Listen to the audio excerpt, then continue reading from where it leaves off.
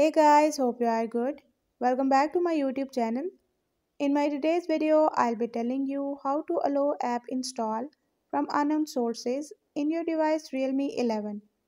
But before we start, if you're new to my channel, don't forget to hit the red subscribe button and the bell icon to stay updated. Let's watch this complete video.